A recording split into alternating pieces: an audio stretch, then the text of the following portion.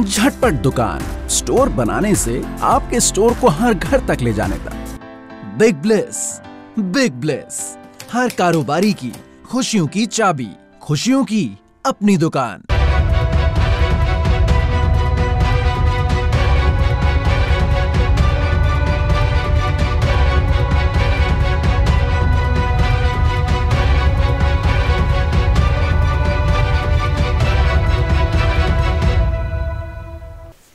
कनरजी जी बात करें, यहाँ से अगर अब कच्चे तेल की, क्रूड ऑयल की तो क्रूड ऑयल में भी हमने आज 139 डॉलर्स पर ट्रेडिंग होते हुए देखी है। कच्चे तेल में आज भी बढ़त का दौर जारी है। और खबरें भी हैं कि अमेरिका ने रूसी कच्चा तेल, गैस और एनर्जी इंपोर्ट्स बंद कर दिए हैं, उन पर बैन लगा दिया है। और जो यूके है, वो भी अब इसी प्रक्रिया में है। आपको क्या लगता है, क्या ऐसा करने से कच्चे तेल की जो मार्केट है, अभी और ज़्यादा उछलने वाली है? देखिए अमेरिका ने रूस से कच्चे तेल के आयात पर प्रतिबंध का ऐलान कर दिया है। इसका प्रभाव भारत सहित पूरे विश्व में पड़ने की संभावना है। हम्म। और यूरोपीय देश में तो इस प्रतिबंध का जो पालन करते हैं तो पूरे पूरे यूरोप में ऊर्जा का संकट पैदा हो जाएगा। गौरतलब है कि यूरोपीय संघ अपनी ज़रूरत का 40 प्रतिशत गैस और 50 प्रतिशत कोयला और एक तिहाई यानी वन थर्ड तेल रूस से आयात करता है। दुनिया के कुल तेल सप्लाई का 8 से 10 प्रतिशत रूस से ही आता है और रूस हर रोज 70 लाख बैरल कच्चा तेल का निर्यात करता है। इससे अधिकतर हिस्सा यूरोप के हिस्से में जाता है। और ये प्रतिबंध यदि लग जाता है तो सप्लाई बाधित होती है तो उससे पूरा यूरोप संकट में आ जाएगा। और इसका प्रभाव पूरे वर्ल्ड में पड़ने की संभावना बनेगी। और गौरतलब है कि रूस से, रूस सबसे ज़्यादा जो प्रतिबंधित देश है, वो है स्विट्जरलैंड पाँच यूरोपीय संघ, कनाडा, ऑस्ट्रेलिया, अमेरिका, ब्रिटेन और जापान। ये सारे जो देश हैं, ये अभी प्रतिबंध करते हैं तो ये सारी, ये समस्या आ सकती है। और गैस की आपूर्ति यदि यदि रुक जाती है या बाधित हो जाती है तो यूरोप बड़े संकट में आ जाएगा और वहाँ पे इंडस्ट्रियल उत्पादन हो या फिर घरेलू बिजली इन सभी पर संकट आ जाएगा। गौरतलब है कि हमने आपको युद्ध शुरू होने से पहले ही आपको आगाह किया था कि मार्च के महीने के अंदर ऊर्जा संकट की पूरी पूरी संभावनाएँ बन सकती हैं। और वो देखिए अब ऐसा माहौल बन रहा है और इसके अंदर बड़ी परेशानियाँ भी आ रही हैं। और गौरतलब है कि यदि आपने देखा हो कि कुछ समय पहले भी कुछ महीनों पहले एक बार ऊर्जा संकट हुआ था। वो ऊर्जा संकट यूरोप में और चाइना दोनों जगह हुआ था। यूरोप में जो गैस लाइन की जो आपूर्ति के बीच में कोई डिस्टर्बेंस थी टूट गई थी उससे पूरा यूरोप बड़ा परेशान हो गया था बड़ी दिक्कतें आई थी। तो लड़ाई यदि बढ़ती है और जिसकी संभावना अब धीरे धीरे मैं ये आपसे एक और चर्चा करना चाहूँगा ताकि ये शो ऐतिहासिक बने। आने वाले कुछ समय के अंदर मुझे जो लगता है एस्ट्रो फाइनेंस के मुताबिक लड़ाई के माहौल अब धीरे धीरे बादल धीरे धीरे छटने लगेंगे। क्योंकि यूक्रेन के सामने रशिया का जो प्रपोजल है कि नीटो में नहीं शामिल होना, वो उसको मानने के अलावा कोई रास्ता नज़र नहीं आ रहा है।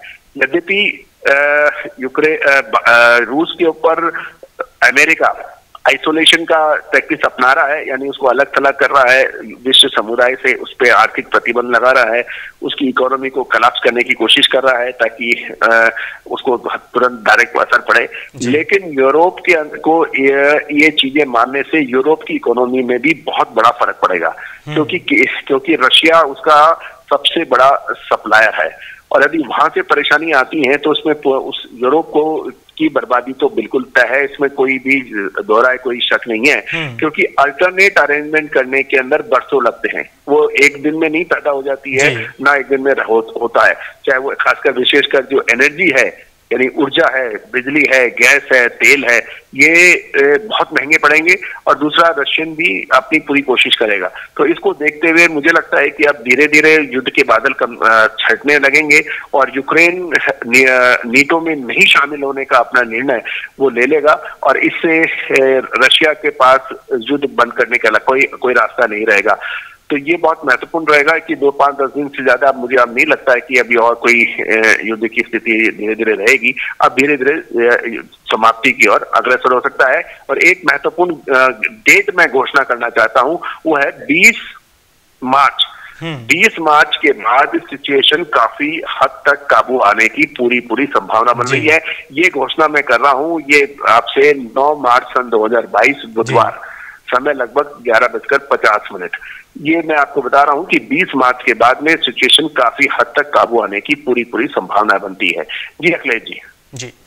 कर्नल अजय जी आपने ऐसा बोला कि 20 मार्च के बाद सिचुएशन थोड़ी कंट्रोल हो सकती है। तो जानना चाहूँगा कि 20 मार्च के बाद ऐसा क्या होगा या इस दौरान के आसपास ऐसा क्या होगा जिससे सिचुएशन थोड़ी कंट्रोल हो सकती है? देखिए जो अगले दस दिन है इस दस इस दस दिन के अंदर यूक्रेन अपना फैसला ले लेगा कि हम्म। उसको नीटो में शामिल होना है या नहीं होना है नंबर वन नंबर टू जो रशिया की जो दूसरी शर्तें हैं कि ईस्टर्न यूक्रेन के अपर में जो राज्य हैं उनको मान्यता देना नीटो हम्म। में शामिल नहीं होना ये दो महत्वपूर्ण शर्तें हैं यदि ये दो महत्वपूर्ण शर्तों के ऊपर यूक्रेन काम करेगा और और इससे रशिया के पास कोई रास्ता नहीं रहेगा कि अपना युद्ध बंद कर, करे और धीरे धीरे जो आर्थिक प्रतिबंध है वो जो आर्थिक प्रतिबंध अमेरिका ने रशिया के ऊपर लगाए उसका भी असर रशिया की इकोनॉमी पे तो काफ़ी पड़ रहा है। इसमें कोई दौरा नहीं है कि उसकी बैंकिंग की व्यवस्था बिल्कुल बिगड़ गई है। रशियन करेंसी के अंदर लगभग सत्तर पचहत्तर प्रतिशत से अधिक की गिरावट दर्ज हो गई है। रशियन बाज़ार बिल्कुल टूट चुके हैं। रशियन कंपनीज़ को बड़ी परेशानियाँ हो रही हैं। उसको इम्पोर्ट हो या एक्सपोर्ट हो सबको बड़ा परेशानी है। हम्म। लेकिन ये युद्ध के हालात में ऐसी स्थितियाँ उत्पन्न होती हैं और वो कोई भी जो देश इन परिस्थितियों को देखते हुए ही युद्ध का ऐलान करता है। और वो इन चीज़ों के लिए मानसिक राजनीतिक आर्थिक रूप से तैयार होता है और उसके लिए वो अल्टरनेट अरेंजमेंट ज़रूर करता है। और पुतिन का जो नज़रिया है क्योंकि रशिया की यदि आप भौगोलिक स्थिति देखें तो उसके लगभग तेरह देश उसे नीटो से ऑलरेडी उसमें शामिल हो चुके हैं। हम्म। और ये जार्जिया ये यूक्रेन भी शामिल हो जाता है तो इससे इससे रशिया की सीमाओं पर नीटो का प्रभाव का लगभग स्थापित हो जाता है। और वो उसके लिए उसकी रक्षा के लिए पुतिन का कहना है कि ये ये रशिया के लिए राजनीतिक भौगोलिक और सामरिक दृष्टि से ये खतरनाक साबित हो सकता है। तो वो अपनी रक्षा के लिए ये कदम उठा रहा है ऐसा पुतिन का कहना है।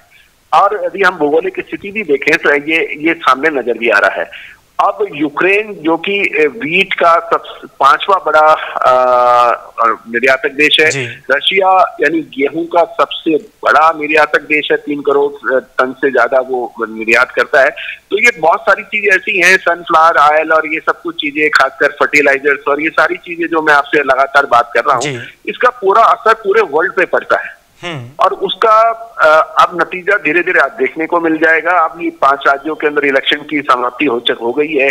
अब आने वाले दो तीन दिन के अंदर जब पेट्रोल के प्राइसेस पाँच से दस रुपए बढ़ेंगे हम्म। डीजल के प्राइसेस पाँच से दस रुपए बढ़ेंगे तो उस वक्त देखिएगा कि भारत के अंदर भी बड़ी परेशानियाँ होंगी। यद्यपि भारत डायरेक्टली इन्वॉल्व नहीं है लेकिन अर्थव्यवस्था जो है वो पूरी तरह से चरमरा सकती है। चाहे वो भारत की हो चाहे रशिया की हो चाहे यूरोप की हो चाहे अमेरिका की हो जब महत्वपूर्ण देशों के बीच के अंदर आपस में तनातनी होती है तो इसका असर हर आमो खास पे पड़ता है चाहे वो पाँच हज़ार किलोमीटर दूर बैठा हो या या तीस हज़ार किलोमीटर दूर बैठा हो हम्म। तो ये बहुत महत्वपूर्ण होगा और ये ये चीज़ें लंबे समय तक नहीं खींचे ये पूरी विश्व शांति के लिए ज़रूरी भी है और मैं यही कहूँगा कि हमें जो भारतीय कर सकते हैं खाली प्रार्थना कि भाई विश्व युद्ध में कन्वर्ट ना हो और रशिया और यूक्रेन को समझ आए और ये वापस हालात बिगड़े इससे पहले ये ये समाप्ति हो जाए। तो मैं फाइनेंशियल एस्ट्रोलॉजी के माध्यम से मैं कह सकता हूँ कि 20 मार्च के बाद धीरे धीरे सिचुएशन काबू आ जाएगी और उसके बाद अप्रैल पंद्रह, चौदह के बाद में स्थिति काफ़ी हद तक नॉर्मलाइज होने की संभावना बनती है। ये डेट आप नोट करें और मैं चाहूँगा कि ये जब ये स्थिति आ जाए उस वक्त हम ये, हम दोबारा दिखाएँ कि 20 मार्च से सिचुएशन काबू आएगी और 14-15 अप्रैल तक के बाद में ये स्थिति पूर्ण तरह से नॉर्मल होने की संभावना है। जी, अखिलेश जी। जी। तो काफ़ी बड़ी ऐतिहासिक भविष्यवाणी की है कर्नल अजय जी ने। कर्नल अजय जी के मुताबिक सिचुएशन जो अभी इस समय रूसिया और यूक्रेन के बीच चल रही है, वो 20 मार्च के आसपास थोड़ी कूल डाउन होती नज़र आ सकती है, थोड़ी ठीक होती नज़र आ सकती है और अप्रैल के मध्य तक जो सिचुएशन है, उसमें थोड़ा और सुधार भी हो सकता है। आपके प्रोडक्ट बेचने से आपकी सेल बढ़ाने तक। बिग ब्लेस बिग ब्लेस हर कारोबारी की खुशियों की चाबी, खुशियों की अपनी दुकान।